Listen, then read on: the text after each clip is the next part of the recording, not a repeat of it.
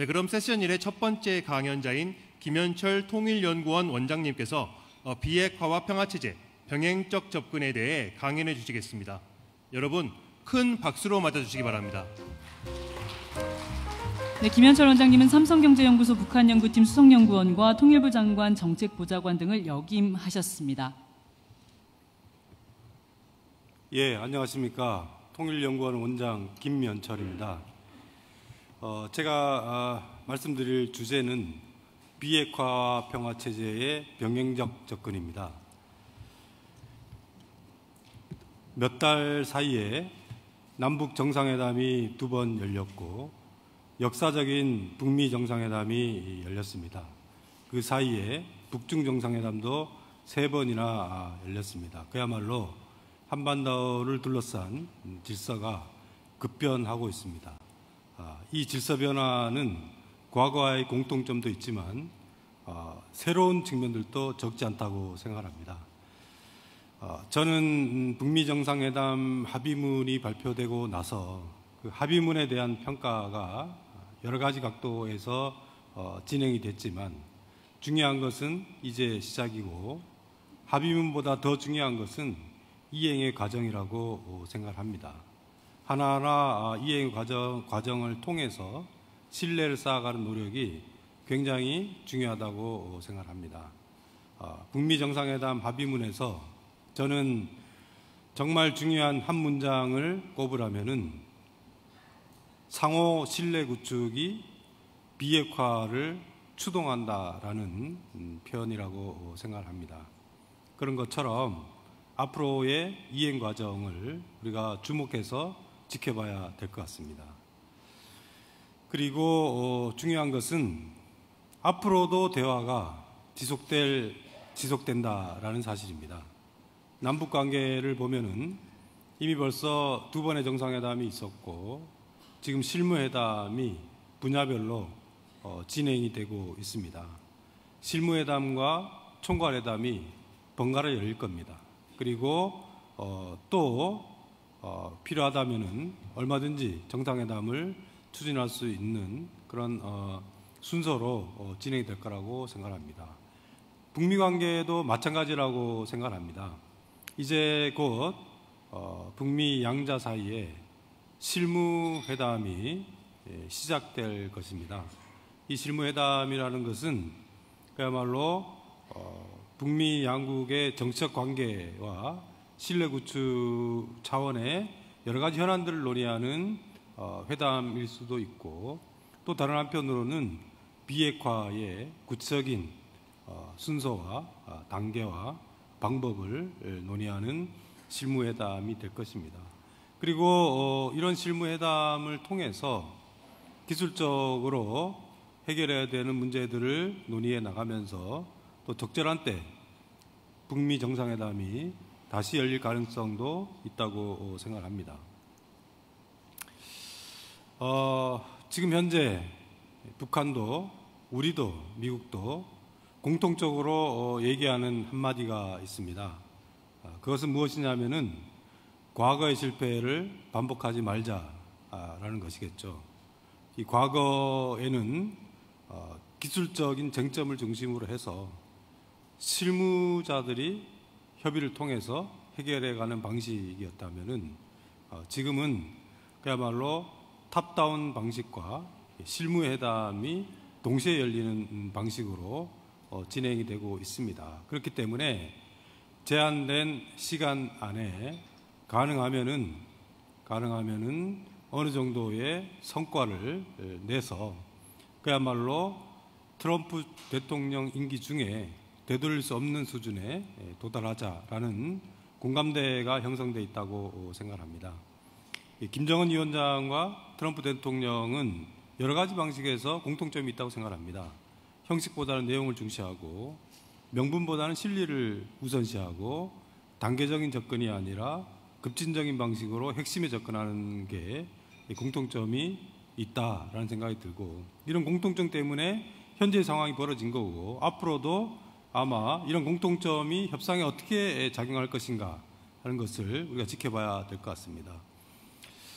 어, 저는 비핵화와 이 평화 체제의 병행적 접근에서 이 두 가지를 이어주는 하나의 단어가 CTR이라고 생각합니다. 협력적 위협 감소 프로그램이죠.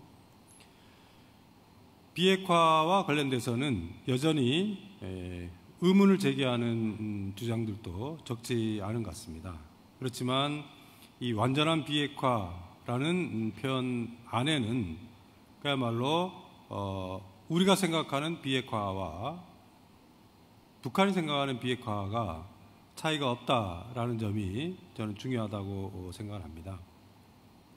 북미 정상회담을 통해서 신뢰 구축이 비핵화를 추동한다라는 얘기는 과거의 강압적 비핵화가 아니고 능동적 비핵화로 비핵화의 개념이 달라지고 있다는 점도 주목해서 어, 봐야 될 것 같습니다. 그야말로 어, 북미 정상회담이라는 음, 전환점을 통해서 어, 북핵 문제 해결 접근법과 관련돼서는 포괄 병행 해결론으로 전환하지 않았나라는 생각이 듭니다. 이 비핵화와 동시에 관계 정상화가 그야말로 병행적으로 추진되는 방식인데요. 북한의 안보 위협 해소의 속도와 비핵화의 속도를 상응 조치로 조율하는 방식이다. 이렇게 봅니다. 이 관계 정상화라는 개념에는 외교 관계 정상화와 경제 관계 정상화가 동시에 포함되어 있습니다. 이것을 좀 구분해서 어, 접근하는 음, 생각들도 있는데요. 정확하게 보면은 어, 예를 들어서 북한과 미국이 연락사무소를 개설한다. 연락사무소라는 것은 대사급 관계를 수립하기 위한 하나의 징검다리 조치로 어, 우리가 고려할 수가 있는데 이 연락사무소를 개설한다라고 했을 때도 그 개념은 제재 완화의 내용을 포함하고 있습니다. 왜냐하면은 연락사무소를 테러 지원 국가 할 수가 없습니다. 연락사무소를 적성 국가 맺을 수는 없겠죠.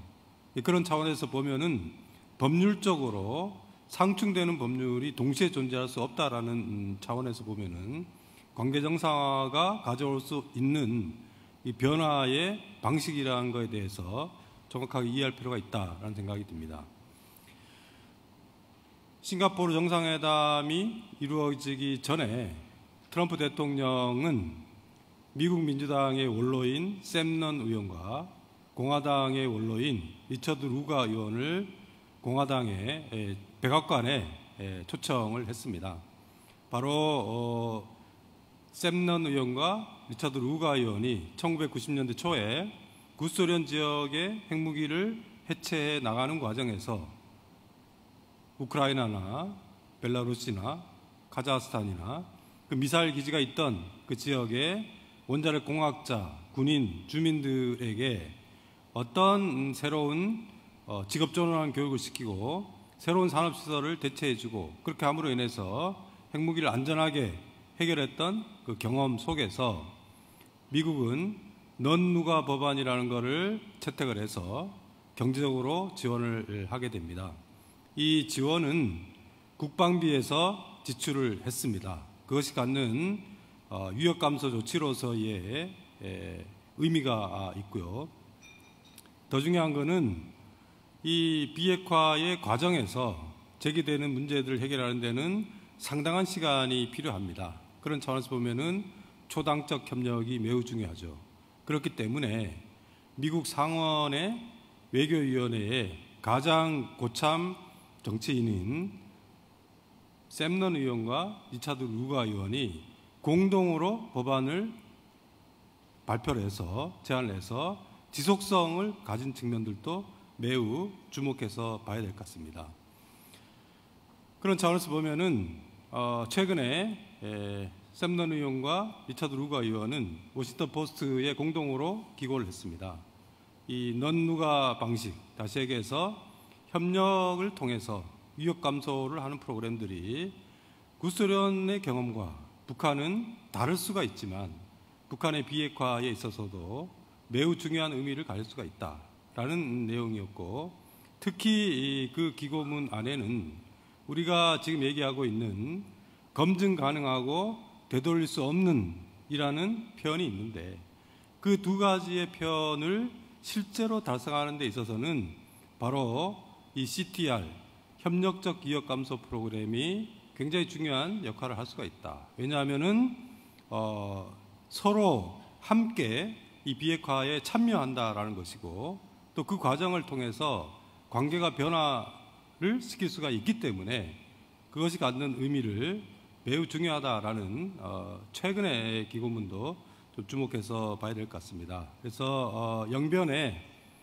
이종의 오메가 두원자로가 있고 농축 우라늄 시설이 있는 이 영변을 비핵화의 과정에서 어떤 방식으로 새로운 산업을 제공을 하고 그런 과정들을 통해서 새로운 직업을 갈 수 있도록 하는데 매우 중요한 의미가 있다고 생각합니다. 저는 어, 평화 체제와 관련돼서는 이 종전 선언 문제에 대해서 먼저 어, 말씀드리고 싶습니다. 종전은 법 제도적인 측면에서도 중요한 의미가 있지만 전쟁이 끝났다라는 가, 것이 갖는 어, 의미도 적지 않다라는 생각이 듭니다. 그야말로 종전의 인문학적 성찰이 우리 사회에서 필요한 것이 아닌가라는 생각이 듭니다. 대체로 보면은 남북 관계 차원에서는 적대 관계를 청산하고 분단의 상처를 치유해야 될 숙제가 있습니다. 다시 얘기해서 관계가 변화돼야 되겠죠. 국내적으로도 보면은 전쟁이 남긴 상처들이 적지 않고 그것이 어, 화해와 치유의 숙제를 안겨주고 있다라는 생각이 듭니다. 그리고 아까 넌누가 방식을 얘기를 했지만 결국 이 비핵화와 평화를 만들어가는 과정에서 어, 그야말로 이 과정에서 정말 중요한 것은 지속성이고 그 지속성을 위해서는 국민적 합의와 초당적 협력 이런 것이 정말 중요하다라는 생각이 듭니다. 국제적으로 보면은 어, 한국 전쟁이 남긴 전후 체제, 북한과 미국의 관계, 북한과 일본의 관계가 정상화될 필요성이 있다고 생각합니다. 이 정전과 평화협정 사이에 이 종전 음, 선언을 우리가 아, 얘기를 하고 있는 것은 법 제도적인 측면에서 당장에 평화협정을 맺을 수가 없기 때문에 잠정협정의 지혜가 필요하기 때문입니다. 평화협정에 대해서는 저는 어, 이 평화협정은 평화체제의 끝이 아니라 또 다른 시작이라고 생각합니다. 평화는 약속 그 자체가 아니라 약속을 이행하는 과정에서 만들어집니다. 우리가 아, 중동 평화 협정의 사례들을 보면은 1978년 캠프 데이비드 협정이나 1993년 오슬로 협정의 체결에도 불구하고 평화가 오지 않았습니다. 그리고 어, 북아일랜드 분쟁을 종식시킨 1998년의 성금률 협정도 어, 그것이 실질적인 평화로 이어지기 이어지는 데는 10년 이상의 예, 시간이 소요됐습니다. 그런 차원에서 보면은 어, 평화협정이 갖는 법제도적인 측면에서의 중요성이 있지만 그런 약속을 어떻게 이행할 것인가라는 것이 훨씬 중요하다라는 점이 어, 저는 음, 제가 강조하고자 하는 부분입니다. 그런 차원에서 보면은 법적인 평화만큼 사실상의 평화라는 게 굉장히 중요하다. 어, 남북 정상회담을 통해서 육상 해상 공중에서 일체의 독재 행위를 중단하기로 어, 약속을 했고 사실상의 평화 수준이 앞으로 비핵화의 속도에도 중요한 영향을 어, 미칠 것입니다. 대체로 되돌릴, 되돌릴 수 없는 평화의 수준이 되돌릴 수 없는 비핵화의 수준을 결정할 것이라고 어, 봅니다. 사실상의 평화와 관련돼서 가장 중요한 것은 비무장지대의 평화지대화라고 할 수가 있을 것 같습니다. 어, 그동안 이 한반도에서 이 비무장지대는 중무장지대로 어, 전환됐습니다. 매우 안타깝게도요.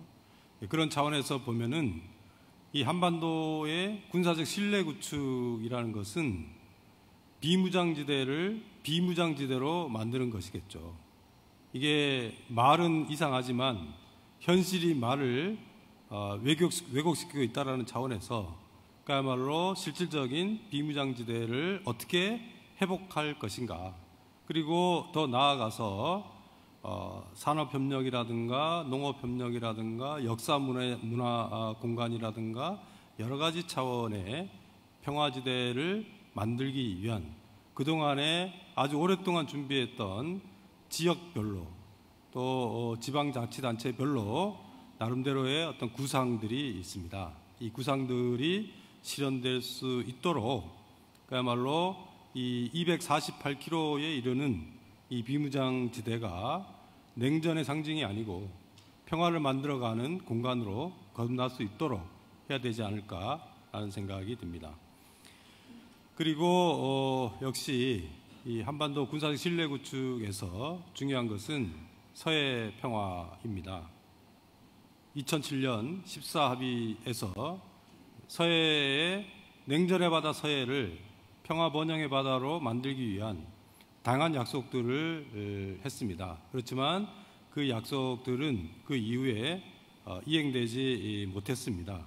그런 차원에서 보면은 앞으로 어, 군사적 신뢰 구축을 만들어가는 과정에서 서해에서의 여러 가지 해양평화공원 문제라든가 공동어로 구역이라든가 또 어, 여러 가지 차원의 바다에서의 경제협력을 할 수 있는 방안들에 대해서 어, 좀더 어, 진척을 시켜야 되는 과제들이 있습니다. 저는 어, 마지막으로 어, 말씀드리고 싶은 것은 결국 어, 지금은 시작이고 앞으로 가야, 가야 될 길이 굉장히 멀다고 생각합니다. 애로와 난관들이 적지 않다라고 어, 누구든지 인정할 수밖에 없는 음, 현실입니다.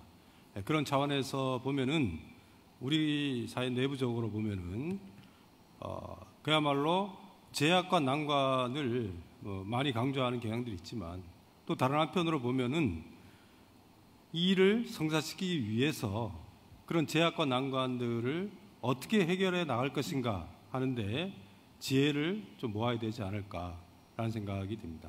이상으로 발표를 마치겠습니다. 네, 김현철 통일연구원 원장님 좋은 강연 감사드립니다.